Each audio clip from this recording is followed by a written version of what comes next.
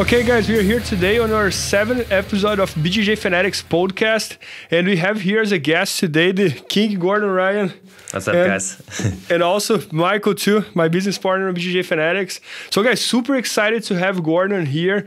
Gordon is probably like the the guy who everybody's talking about in Jiu-Jitsu right now, right? He he just won the World's No Gi double gold, his division in the open class. He won the ADCC on his division. He got second in the open class, and all of this with 23 years old. yeah. 23 years old. So super, super impressive, guys. And uh, in my opinion, what's even more impressive is that he always says that he's gonna win, and even the words no gi, he was walking around with the crown, and uh, he goes there and he actually does it. So that that's amazing, in my opinion. Thank you. but uh, thanks so much for being here, Gordon. Absolutely. Thank you guys for having me. Yeah. So Gordon, let's start talking here first about the words no gi. So Uh, so you know, Worlds, uh, Nogi Worlds was definitely uh, was definitely fun. Um, you know, there was a lot of hype going into it when I uh, when I signed up and Flow Grappling got a hold of it, and they were like, "Gordon's competing at Nogi Worlds," um, and then it turned out to be the biggest Nogi Worlds ever. Um, like my division pretty much could have been uh, an, an ADCC division. There was uh, was myself, there was Tex Johnson who just won uh, the ADCC trials all by submissions. Satoshi Ishii, who is a black belt in Jiu-Jitsu and the Olympic gold medalist in Judo. Um, Jared Dopp, ADCC silver medalist.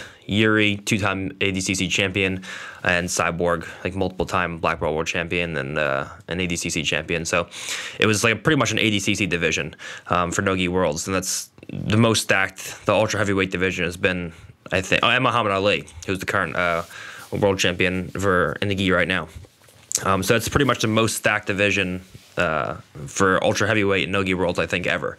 So it's definitely definitely exciting going in and getting to compete in that, and then doing the absolute as well.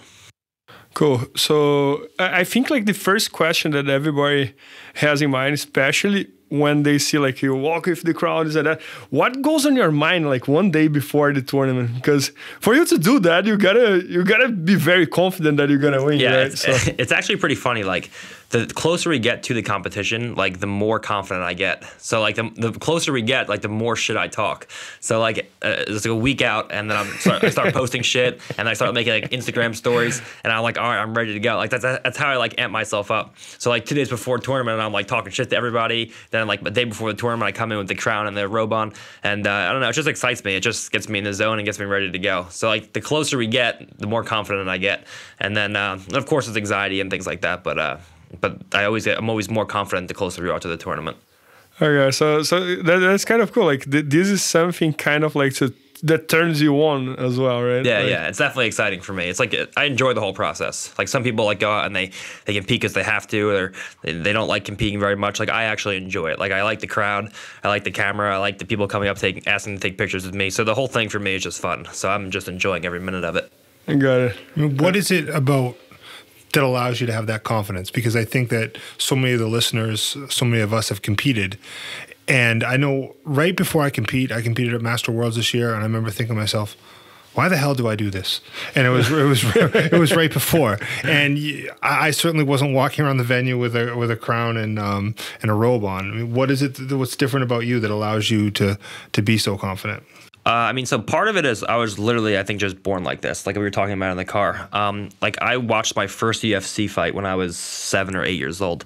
At And, uh, daycare, right? No, it wasn't a daycare. It was actually at my house. So my Okay. daycare teacher would teach us moves like from the UFC and make us fight each other. That's a whole other story though. But like uh, the first, the first fight I saw was uh, Royce Gracie versus Keith Hackney. It was like a Royce Gra- Gracie tribute where they were doing like. Like a rerun of like all the first UFCs. So I watched it when I was like eight years old, and I just thought to myself, I'm like, that's what I'm gonna do when I get older. Like that's what I'm gonna do when I grow up. And I never really had a plan or anything until I actually started training. But like I was just always like that. I always just thought that I was like the greatest. I was like even before I trained jiu-jitsu, I thought I was like the best at jiu-jitsu ever, because I would like beat up all my friends at daycare. Uh, but uh, so you know, part of it is just that I was just I'm just naturally confident. I think uh, and the other part of it is obviously that I believe that I truly believe that I train with the best instructor in the world, and that I train with the best team in the world, um, and the most dangerous people in the world. I think that. Uh, for me going out, like the fear of losing by like a couple points or by advantages isn't really that big of a deal. But everyone who goes out to fight anyone from our team is like, oh man, like I can go out and get my leg broken, I can go out and get submitted. Um, so I think it's much more. Uh, you know, mentally taxing for other people to come out and fight us versus us going out to fight them. Yeah, man, that, that, that, was a very cool way to explain. Like, and uh, this brought me up on a story about uh, Rousimar Palhares, the Toquinho, Yes. in one day DCC. Uh, someone told me that uh, he was walking around in the warm up, this and that, and every other the guy said that he never saw this in any grappling tournament. Like everybody was walking around, all the fighters scared. They were like, man, you, you, it's normal to see that happening on an MMA match or something like that, but not in a grappling match, you know? Because normally grappling match, like even if you fight against the best guy in the world, like against Roger Gracie, you don't feel that scared because the maximum that can happen is he get them on and choke you, right? And they, when they were about to fight uh, Rousimar Palhares, like everybody was scared. Yeah, And that's yeah. probably like the same feeling Yeah, that they're they're having. getting legs broken. Yeah, I mean, yeah. It's, it's, it's natural. No, I I agree, you know, because when I was competing, for example, I would not get scared to get choked, right? But man, being six months out, do a surgery, ligament, this and that. This, It's, this, it's, it's scary. Like It when you go against scary. people from our team and you think like I could really like get seriously injured doing this, it's just like, okay, like I have to take this seriously. You can't just go out and you can't just not train for it and not be prepared. Like you have to take it seriously. Like you could get like really injured competing against people from our team. I agree. And Gordon, I pretty much watched all your matches in the Words No Gi. And man, you were pulling guard everyone. You were sweeping, kind of going to the heel hook, but but there was heel hook was not allowed. You were using that to get a sweep. And man, when you were getting on top was so much pressure like that. And- yeah, yeah. I've and- been go ahead, sorry. sorry and so you would mix like losing passes with tight passes with submission passes and this is exactly what you showed today. Guys today gordon shot an entire instructional all about guard passing that we're going to launch probably in february or march at bjjfanatics.com so can you explain a little more about your system passing guards and and that Yeah, so I talk about it a lot in the video. Um, and really, what we have to think about is first we have to distinguish what kinds of guard passing there are. Okay, if you look at all historically, all the guard passers, they either do uh, loose passing, like uh, for example, Leandro Lo or the Hoff, or Rafa Mendes, they throw their legs to the side and they use motion with the feet to get past their partner's legs. There's tight passing. If you look at Bernardo, made a whole career off of uh, of under overpassing or over underpassing, however you guys want to say it. Um, of with tight passing, Roger Gracie is very good at, at tight passing, um, where you actually put wedges around your partner's hips, torso, and head and arm to pin their shoulders to the floor and then pass them. And then there's a third way of using submissions to get past your partner's legs. Okay, they start sitting up into you to get an underhook. You go for a guillotine. You use the thread of the submission to get past their legs, or use a kimura to get past their legs. Um, so I talk about all the three different kinds of passing and how to interchange them with one another. Okay, if you look historically at at all the best guard passers, most of them are specialists at, uh, at, at one kind of guard passing, and then they're good at the others. Okay, but well, what I want you guys to be able to do, and what I'm trying to do, it's still obviously a work in progress, is to master all three kinds of guard passing and be able to chain them all together effectively at the right point, uh, right point in time. So that's what that's what the goal is, at least. So you want to talk about? I mean, we talked a little bit in the car. You you said to me that you thought you were really an average passer up through brown belts. You you favored pulling guard and going for leg locks and that kind of thing. What is it that that got you uh, that got you so interested in passing? Got you so good at passing? Um, well, so the first thing is John always was just trying to exploit the weakness of the sport, which at the time in no-gi grappling was leg locks. So he's always wanted to get as good at leg locks first. So the, my first thing that I started get, to get good at were leg locks. I wasn't trying to do really anything besides that because that's what was John was stressing the most was get good at leg locks so you can have early success. Um, so for a while, it was really just me working on submissions, and then there was two points in my career where I really uh, became serious about guard passing. One was when John told me that he used leg pommeling to get past the guard, but he didn't have a real systematized way of doing it, of using leg pommeling to pass the guard. And then it was our job over the next couple of years to systematize leg pommeling to get past your opponent's guard.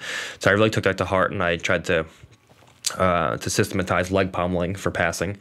Uh, and the second time where I really started taking my passing seriously was uh, was when John told us at ADC or before ADCC camp that the only thing that everybody else could possibly be better at than us uh, at was uh, guard retention and guard passing, the other athletes.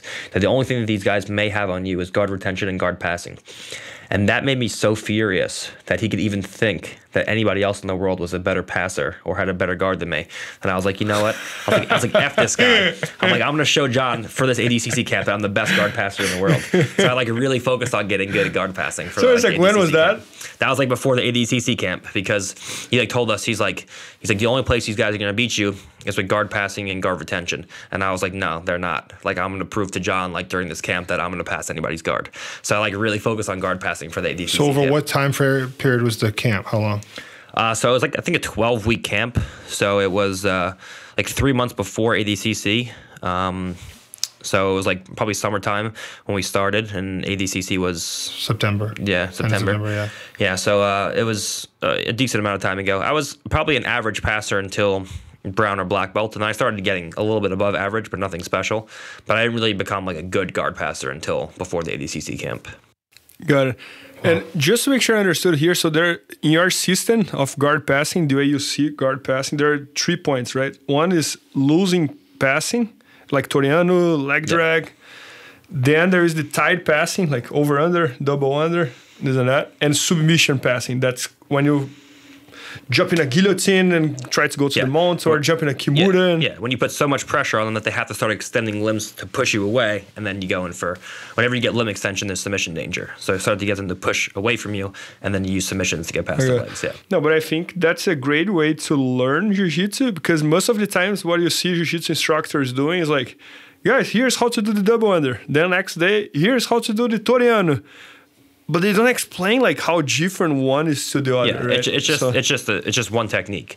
What you need Yeah. what you need is multiple series of moves that all overlap with one another, so you can use them interchangeably to systematize everything. I got it. Yeah, and when I was watching you teaching today, I, I was paying a lot of attention that how you created transition between the losing pass to the tight pass to the submission pass and that kind of thing, right? Yeah, they all interchange. You start putting pressure on people, and you use one pass to, to chain with other passing.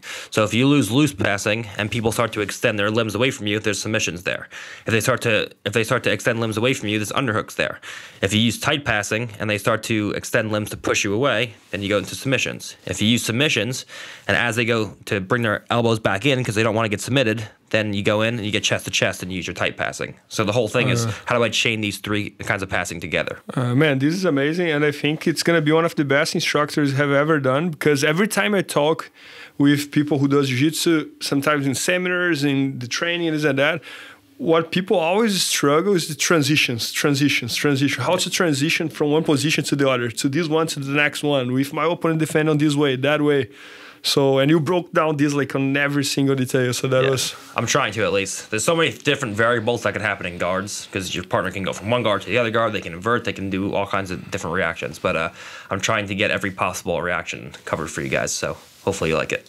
I've um, if I could speak a little bit from experience, so I'm someone who's on the older side. I'm 44, uh, and my birthday is this month, so I'm almost at the end here. One day But- after my Yeah, birthday. right, right. But um, so I, I love jujitsu. I still try to train every single day, sometimes twice, but I can't go jumping around doing crazy things. And I've taken now, uh, Gordon's taught me a couple times. And what I found is that it's just incredibly systematic.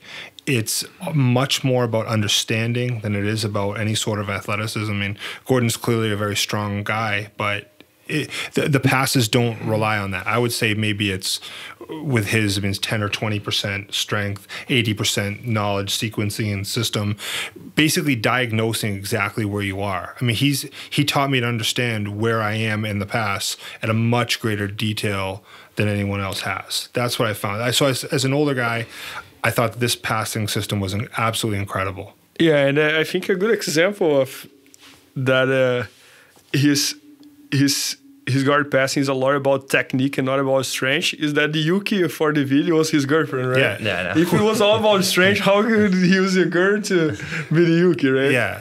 But uh, you can you can see like when he was doing on her, how it's all about the technique. It's all about the adjust. It's not about the strength at all. So Yeah, and you have to remember too, like different kinds of guard passes work for better people.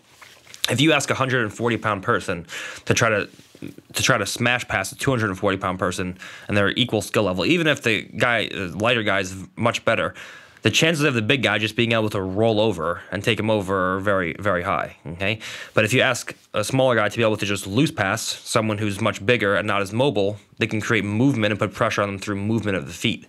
Okay, if you take a big guy on top and you ask him to try to hit Toreando passes on a guy who's 140 pounds, probably pretty unlikely. But instead, if you pin him down and hold him in place and tight pass him, it'll probably be a lot easier. And then submissions usually work on everybody, so you can use those pretty much on any body type. Cool. Now, Gordon, when you, I know you're a really student of the game. Who are some of the guys you watch to, to get better at passing? Um, so initially, when I was coming up, it was Keenan a lot. Um, okay. When I was like, because Keenan was uh, was a black belt when I was a blue belt. So wow. like coming up from like blue belt and purple belt, I was like, oh, like here's like a lanky American guy who like like that's like similar. I made kind a video with with Keenan when he was a brown belt, so you're just making me feel even older. he was like, yeah, like I was like, oh, okay, like he was like an American guy who like yeah. has a similar style of guard passing. He's tall and lanky like me. Um, so he, I watched. He's, he's more of a loose passer, wouldn't you yeah, say? Yeah, with his leg drag. Yeah, he's excellent. Yeah, so I, I watched him a lot coming up, but uh, the problem is like I would always try to do his passes, and they would always put me in leg entanglements. So like a lot of his things, like they rely on him getting to outside position, but they leave his legs exposed. Yeah. So like I would try to do these passes to like Gary and Eddie, and they would just leg lock me every time. I'm like, oh, this stuff doesn't work. Um, so then like after, after I like tried to like study a bunch of people, and like all their stuff would just leave my legs exposed. I just like started listening to whatever John told me to do, and I just let him do this tape studying, and I just listened to whatever he said. So John studies most of the tape now and just tells us what to do. Knowing what I know, that's probably a good idea. yeah. I'm like, why am I wasting my time here? John's yeah. just gonna tell me this stuff eventually. Yeah, yeah.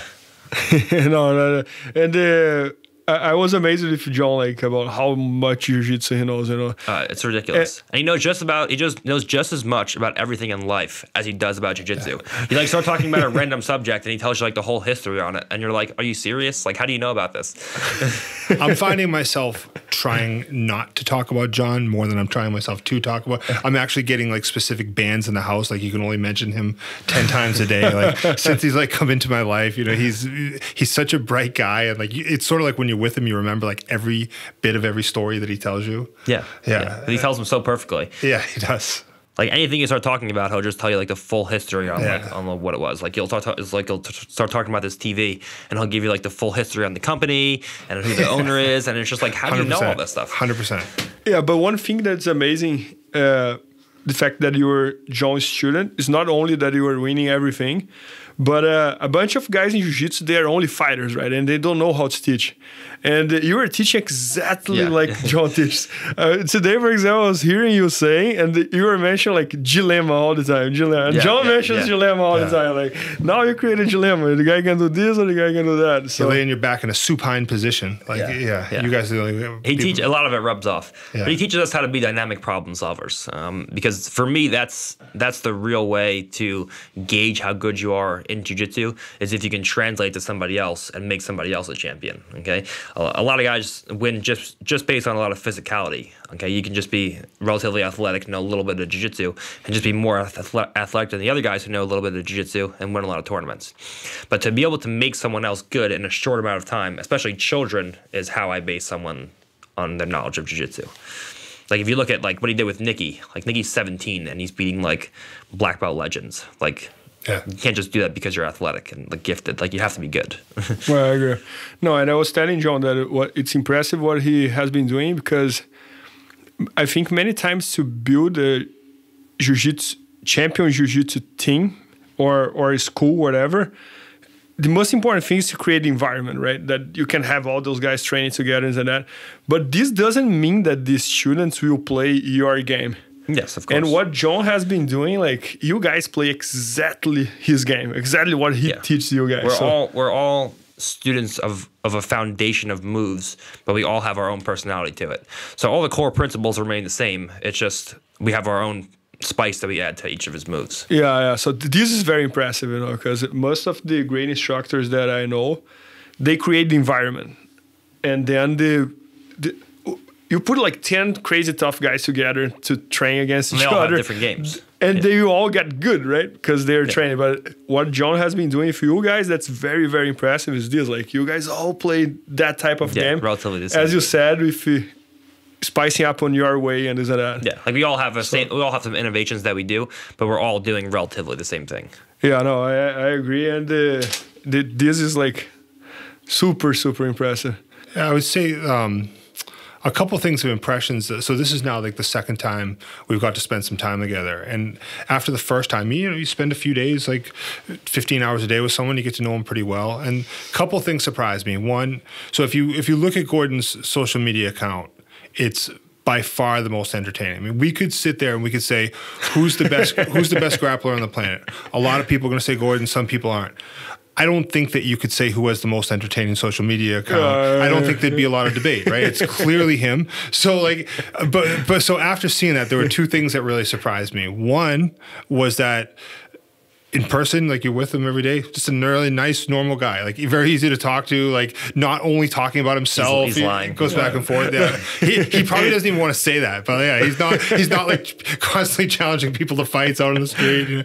It's it's just a nice, normal guy. The, the, second thing that really surprised me was the work ethic. Uh, we did this fitness video last time, and I actually had to like say, guys, I mean, this is crazy. Here we're in hour four. He was doing sets of squats where he would do 315 for 20, immediately pull off 45, do 225 for 20, and then do 135 for 20. And he's banging out three of them. It's 180 reps. And he's doing this kind of like stuff for like, I, I just could not believe the work ethic and just seeing him from, I don't know if he talks enough about that and uh, between all the getting in fights with the people at Ruth Chris and that kind That's of stuff. That's because I don't want to have to remember it. Because every yeah. workout is like a miserable. but talk a little bit about what daily life is like. Uh, so it's pretty routine. Um, you know, we wake up. So like a, a Monday, for example, I'll wake up uh, at 5:45. I'll go to John's class. We'll eat breakfast. Leave at my house at 6:30. Get ready for John's class at 7:45. We'll drill. We'll train. That ends at 9:15 or so. Uh, then I'll eat food, shower, get done by 10:30.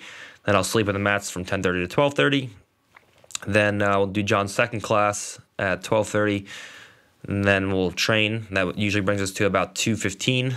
Then uh, we'll take like 15 minutes of a break. Gary will spar MMA, and then I'll spar MMA, and then that brings us to around four ish, 4:30 sometimes after we're showered.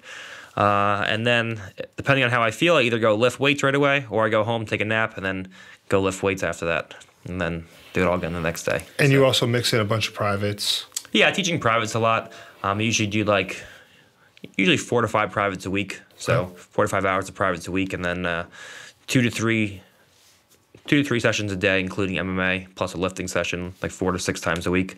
So. Yeah, but I like it. Uh, one one thing I mentioned here that I like it is how efficient is your time, right? Because uh, or you were training or you were sleeping, right? Yeah, pretty much. Pretty much training, training or eating. I'm either training, I'm sleeping, or not like trying to force food down my throat so I don't like lose weight and yeah. like be yeah. 185 pounds again. But man, a bunch of people don't do that. They, they train and then they hang out somewhere, talk with friends. oh, yeah, there's almost none of that. It's pretty yeah, much just exclusively eating or sleeping or training. And then yeah. I think that's the way to, to to be able to train harder and to get better every day. So. And also talking about Nat, like as, as tough of a coach as John is, I would say he's probably your second toughest coach from what I've seen. Oh, like, it's terrible. Like her in the weight room, she's an absolute tyrant. I mean, like she takes no, she orders him around like no more reps, and he does it. And like, I mean, she like I would I would not want to do one of her workouts. Like it's really bad, like, like really bad. I'm, I'm literally on time to time. I'm like, you, I'm like, just go kill yourself. She's like, well, the worst is when she tells me to do like a certain amount of reps, and I get there, and then she like tells me to do ten more, and I'm just like, motherfucker. like you just he told me to do twenty, now I got to do thirty. yeah, it's like a 24 hours personal trainer. Yeah. I mean, it, I mean, it, it, works, but it's just like, oh my god, man, you gotta be kidding me. Yeah. And then I'm like always happy after I do it, but like during it, I'm just like, oh, this is so miserable. Yeah, but man, this is another advantage you have against everybody because most of the people when they get in a relationship and they are training hard, isn't that? The girlfriend complains that oh yeah, you're, you're yeah. never here, you don't give me time. She's the opposite. She's pushing. Yeah, She's like making me train harder than I actually want to. I'm like, oh god. so talk about the future a little bit. What what is it that you see? You've already done so much at 23. Yeah, so um, I'm still competing without the gi. Um, right now, I'm mixing up gi training and MMA training. Um, still planning to compete in the gi, but I have to say I'm liking MMA a lot more than I'm liking gi training. I don't know what it is. It's just more interesting for me to being able to actually beat somebody up versus just roll around on the floor somewhere. Um, so I'm still going to compete in the gi. I'm going to compete in MMA, event, MMA eventually. Um, when I do decide to stop competing in the gi and compete in MMA, uh, I'll still do no, I'll still do no gi grappling. So whenever it is I decide to actually start fighting, I'm still going to compete in no gi grappling and MMA at the same time. I, I plan to be world class in jiu-jitsu and MMA simultaneously. So we'll see how that goes. We're seeing more and more guys do that as grappling becomes more financially rewarding. But when we go and talk to you at 33, what what do you think your resume is going to look like? Um, so I think I'm going to be, uh, you know, world champion, um, multiple time world champion. Uh, I think I'm going to be ADCC, uh, definitely absolute champion, and just multiple time super fight champion. Uh, and then hopefully uh, an MMA champion of multiple weight classes of whatever organization I'm at, which whichever that is when I'm 33. So Okay. hopefully multiple time jiu-jitsu champion and you know multiple weight class MMA champion. Cool. Yeah, and man, the, this confidence is impressive. Yeah. This is like, That's the and I respect it because you have done that. I, I told you another day, I'm not not lying. Like before you win the ADCC and this and that, I would see you saying like, "Oh, I'm gonna do this, I'm gonna do that." I was like, "Come on, this guy!" And then after after you did, I was like, "Now this guy has all my respect." I remember the he two, made of, it. the two the two of us together. We watched a match in 2016, it was the EBI. EBI finals, and like and you looked really good in it. And then um, Bernard and I That looked at day each other, was the like, day that I started. Like I was Yeah, like, man, there's, He might there's be something good. coming there. yeah, I mean, I think that that was there was this. It was a you pretty much took the guy down, Kimura, right to the back system, and done. Yeah. Yeah, yeah. No, but what I think what happens many times, man, p- people talk. Uh, a lot of people talk a lot of stuff, and most of the times, the people who talks a lot, they don't do Yeah. what they talk. There's a lot But- of craziness like but there that are exceptions. Like Yeah. one is here, Well, that's the other one is Conor. Yeah. you know, like so. That's the issue. If you talk a lot but you don't actually do anything, or if you Yeah. if you do compete and you just lose all the time, then everyone just thinks you're a clown. But that's why the people like me so much because I actually I talk a bunch of shit, but I actually go in and actually beat people. Yeah. So that's why my Yeah. fa- like I have the most loyal fans ever. Like, I actually go in and I beat people and people love me. So um, I'm grateful that you guys all appreciate the things that I'm doing.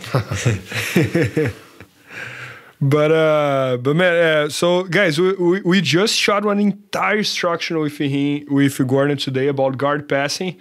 We might launch it probably in February or March, but we believe February. And uh, I think it's gonna be the most complete instruction about guard passing we have ever done. It's gonna be more than seven hours of video. We have never done any instructional about guard passing that is that that amount of uh, content. So we're super excited for that. And uh, anything else, Michael? Any other question or? No, I can say that I'm just so impressed by the guard passing system. I mean, Thank you. and, and just the results that I've had with it and how user friendly it is. It's not something. Michael literally texts me like once a week, and he's like, "I've been crushing people with this, with that long step you showed me." He's like, "He's like, he's like, just a simple detail of keeping your elbow high. He's like, changed my whole life." So I'm like, "Oh, great, man." That's how I'm serious "Let me I take how the it jiu-jitsu. Yeah, but that's true. Like Michael is the most addictive jiu-jitsu practitioner I ever saw in my life. I remember when I moved here to Boston, for example, I was about to open the school, this and that. So the school was delayed to open. And my place to train jiu-jitsu was at Michael's house because he has a mat area in the basement. And uh, many days, this crazy guy would call me like 11:30 p.m. when he his his kids were on bed and he talked with his wife and that. Hey, you want to do some rolls? It was 11:30 p.m. I was like, no, but I never say no to him. So 10 minutes later, I was there in his house. Man, I You got access to the best guys in the world. You want to use it. So I've, uh, I'm very, very happy with my job and, and what I do in this world. No, but uh, guys, so that that was our seventh episode with Gordon Ryan. We hope to do another ten episodes with him. One of the guys we want to talk the most, and today we're talking more about guard passing. That's the new structure that he's coming up and his plans. But we have a lot to talk with him. I think if we would talk with him everything we want, we would stay here for like twenty hours. So let's keep it for the next episode. Thank you. Thanks, Guys.